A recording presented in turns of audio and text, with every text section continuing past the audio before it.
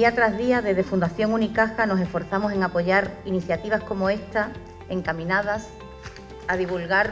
una particular forma propia de sentir y vivir nuestra cultura, con profundo sentido raizal por este gran patrimonio heredado. Que son 100 años, son pocos años, pero dentro del mundo de las cofradías de Sevilla, pero sin duda la Hermandad de los Estudiantes ha sido o se ha encardinado perfectamente en la sociedad sevillana y ha sido, como sabemos, ha sido precursora de muchos movimientos dentro del mundo cofrade. La historia de las hermandades y cofradías de Sevilla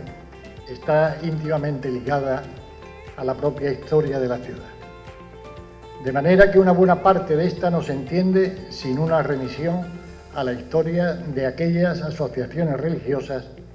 en las que los sevillanos se agrupan para el cumplimiento de los fines que les marcan sus propios estatutos.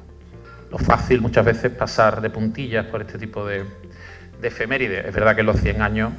son una cifra muy redonda y muy contundente, pero es un acto de generosidad, como decía antes el comisario, al que felicito también, os felicito por este trabajo, eh, con los que nos precedieron, con los que en su día iniciaron esta aventura maravillosa de la Hermandad de los Estudiantes